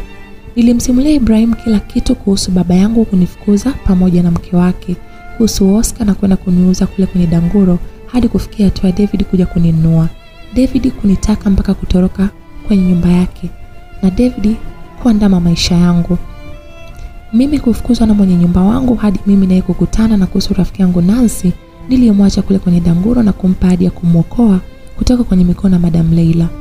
Hayo ndio yalikuwa maisha yangu mimi Kamila mpaka nakutana nawe David. Pole sana mpenzi wangu, nisamehe pia kwa kufikiria vibaya. Nisamehe sana mama angu. Hamna shida Ibrahim, nimeshapoa zamani sana. Sasa una mpango gani kuhusu huyo mama?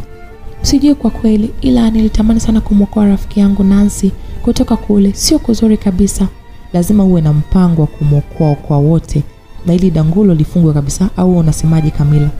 Yaani wazo zuri kabisa. Sasa sijui ntawezaje Usijali, warudi kule kwenye dangulo ili upate taarifa zake zote. Unadhani itakuwa rahisi hivyo Ibrahim? Najua sio rahisi, ila lazima iwe hivyo. Ila twende kwanza polisi tukatoe taarifa kwanza, ili iwe rahisi kumkamata. Hapo sawa, hiyo itasaidia sana kumaliza ili tatizo. Sawa, kesho tutaelekea polisi ili tukatoe taarifa. Sawa, usiwe na wasiwasi, kila kitu kitakuwa vizuri na kitaisha sawa kabisa. Sawa mama Karimu. Asante sana Ibrahim. Mimi pamoja na Ibrahim tulikubaliana kuhusu kwenda polisi ili kutoa taarifa kuhusu danguro la Madam Leila. Hapo nilishasahau kabisa kuhusu duka langu. Nipo tu nyumbani nalea mtoto wangu. Basi siku ya kwenda kutoa taarifa polisi ikawadia. Mimi pamoja na Ibrahim tuliongozana hadi kituo cha polisi, nikatoa taarifa kuhusu dangulo hilo na mmiliki wake, maana mimi ndo nilikuwa najua kila kitu. Mpango wetu ilikuwa ni huo, afisa. Sijui sasa wewe utakuwa na mawazo gani? Ya, wazo lenu ni zuri kabisa. Vipi kama yule mama atakataa kupokea kukupokea tena, tutafanyaje ili kujua kinachoendelea mle ndani? Ni kweli Afsa, lakini ni asilimia chache sana za yule madamu madam kunikataa mimi kurudi kwake. Sawa, hamna shida, na itabidi hili jambo liende kwa haraka sana kwa ajili ya usalama wako wewe.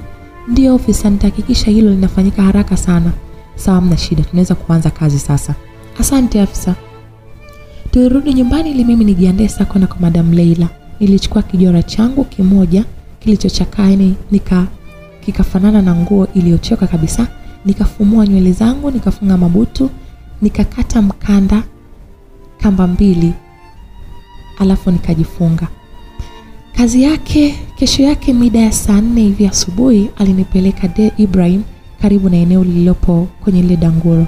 Nikaanza sasa kutembea kwa mguu. Hapo ukiniona utanionea huruma, maana nilikuwa nimechekaa haswa kama vile mtu ambaye hajala siku tatu. Nguo sasa ndo usiseme. Nilifika hadi getini kwanza, walinzi tu walinishangaa kwa jinsi nilivyokuwa mimi. Hapo najifanya sina hata nguvu ya kusimama, nikakaa kabisa chini. Naombeni kuongea na Madam Leila tafadhali, naombeni kaka zangu. Huyu si Kamila huyu kaka au mimi naota? Ni yeye kabisa huyu kaka. Naombeni jamani, mniruhusu, sina hata nguvu ya kukaa hapa muda mrefu, tafadhali sana kaka zangu. Sawa, subiri hapa hapa, naenda kumuita. Sawa sawa kakaangu, asante. Mlinzi mmoja aliingia ndani kwenda kumuita Madam Leila na mwingine nilibaki naye pale nje akionekana kunionea huruma sana kutokana na hali yangu ya uchakavu. Madam, huyu hapa ndio anataka kuongea na wewe. Sawa, haya, tupisheni kidogo. Sawa madam. Wale walinzi waliondoka na kwenda kusimama mbali kidogo, nikabaki mimi na Leila. Madam, nisamee sana, najuta kuondoka hapa. Kona sasa maisha yangu yalivyokuwa magumu, nisamee sana mimi. Kwani we ni nani? Sura yako sio ngeni kabisa machoni pangu. Madam, ni mimi Kamila. Madam, niliondoka hapa baada ya kununuliwa. Kamila, ni wewe? Yamekukuta wapi huko? Uliondoka hapa kwa mbwembwe kweli? Madam, najuta sana, naomba unipokee tafadhali madam. Unadhani nani atakutaka sasa hivi kwa hali yako hiyo eh? Hebu nipishe huko mshenzi wewe. Madam, niko tayari kwa adhabu yoyote tu madam, tafadhali sana na kuomba. Una uhakika kuwa utakubaliana na adhabu yoyote Kamila?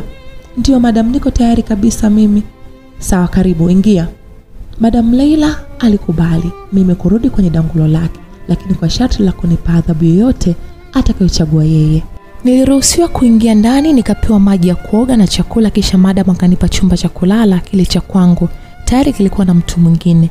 Hapo sijamwona Nancy toka nimefika, na mimi sina hata simu, ila nilikuwa na kamera ndogo sana mithiri ya Irene, yaani ilikuwa ndogo sana, na hata pale getini hakunikagua kwa sababu ya mwonekano wangu, hivyo nikapita kirahisi sana na kamera yangu.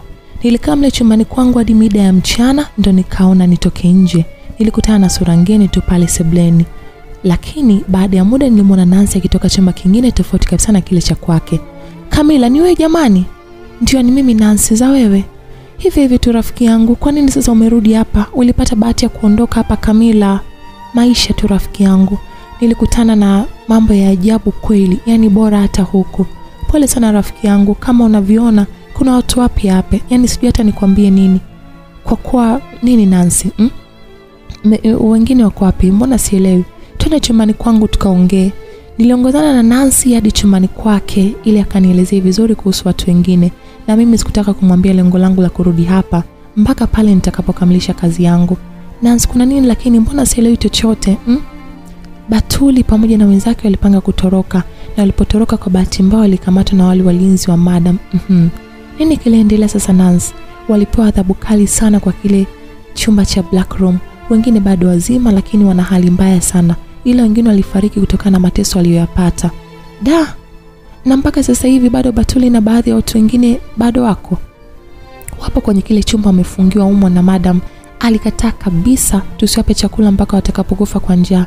Sasa Nans, tunafanyaje ili kuwaokoa watu jamani? Mi hata sijui kwa kweli, maana tulishajaribu mara kibao, lakini ilishindikana. Labda kwa kuwa umekuja, tutasaidiana. Sawa rafiki yangu. Kila kitu tulichoongea na Nancy kilikuwa kimejirekodi katika kamera yangu bila Nancy kugundua chochote. Nilimwaga Nancy na kwenda chumbani kwangu. Mimi na Nancy tulipanga mpango wa kuwa tutawapelekea chakula kina Batuli japo kwa siri sana. Tulisubiri muda wote watu walale, yaani usiku sana ndio tunaenda kupeleka chakula. Hapo kamera yangu iliendelea kurekodi matukio yote ya mule ndani kuanzia asubuhi mpaka jioni. Wiki nzima iliisha nikiwa katika lile jumba, na hapo hata bado sijapewa adhabu yangu nilikuwa nimeambiwa na Madam Leila. Siku niliingia humu ndani, na siku hiyo ndio ilikuwa siku yangu ya mwisho mimi kuwa mule. Siku hiyo mida ya jioni, nikiendelea na stori zetu, alikuja mdada mmoja na kuniambia kuwa naitwa na Madam Leila. Nilinyanyuka na kwenda ofisini kwa madam.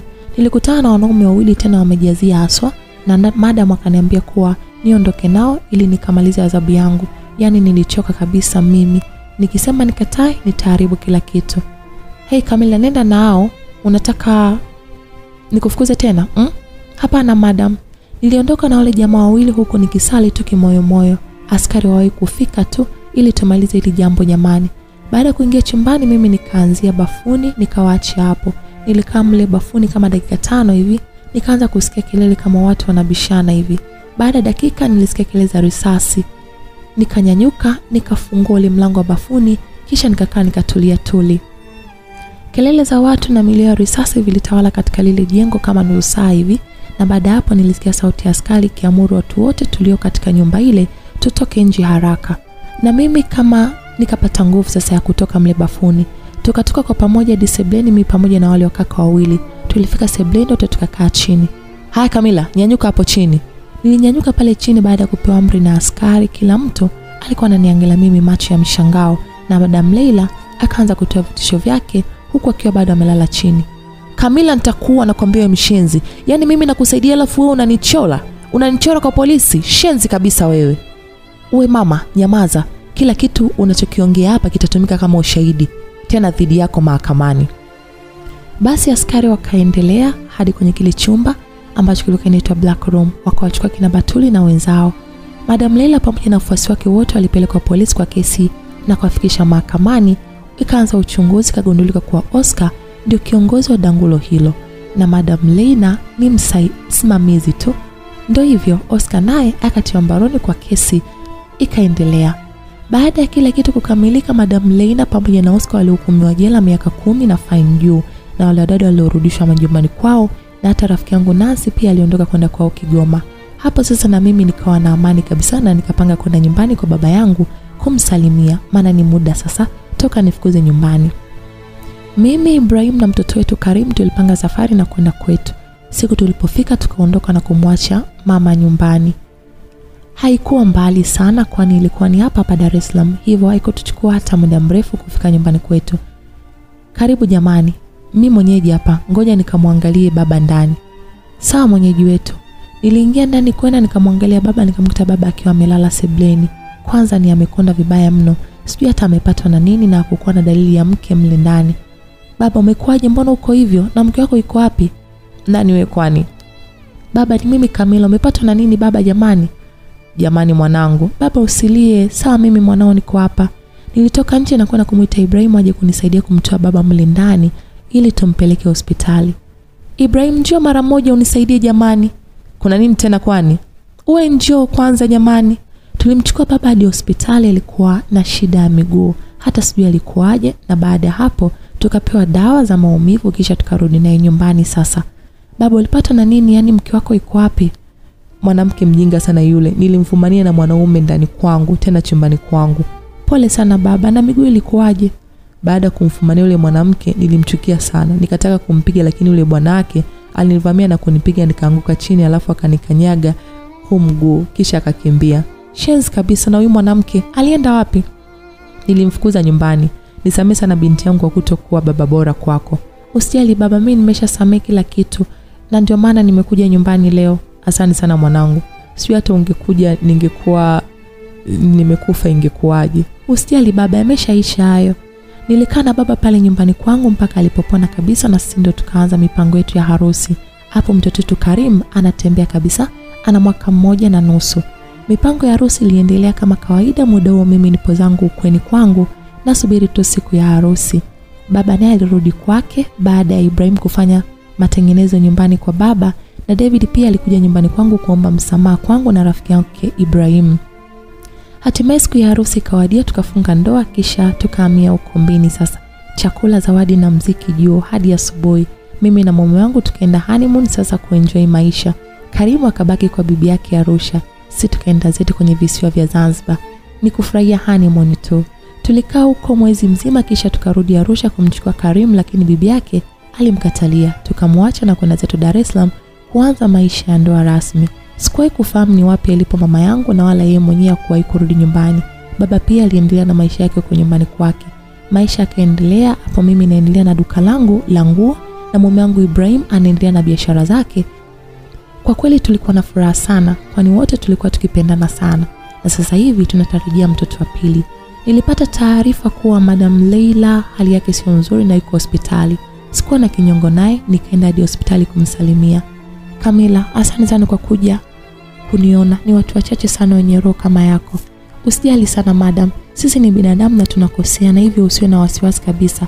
Nisamehe sana Kamila, huku jela nimejifunza mambo mengi sana. Sisi binadamu hatuna huruma kabisa. Da, usijali madam, utakuwa sawa kama zamani. Sawa, asante sana Kamila. Hata kama nikifa basi nitalala na amani moyoni. Usiseme hivyo madam, utapona tu. Kamila, naomba uniombee msamaha kwa watu wote huko nje niliwakosea, wale wote nilokuwa unaishi nao, ili nipumzike kwa amani. Sawa madam, mi nitafanya hivyo, lakini usijikatie tamaa mapema. Sawa madam. Asante sana Kamila. Nilikuwa nafanya kazi ya kwenda kumsalimia Madam Leila pale hospitali mpaka alipopona kabisa, na baada ya kupona alihamishwa gereza lingine. Sasa hivi naendelea na maisha yangu mimi pamoja na mume wangu, na tunatarajia mtoto wa pili, na tunaishi kwa furaha sana, na bado ninaendelea kuwasiliana na rafiki yangu Nancy.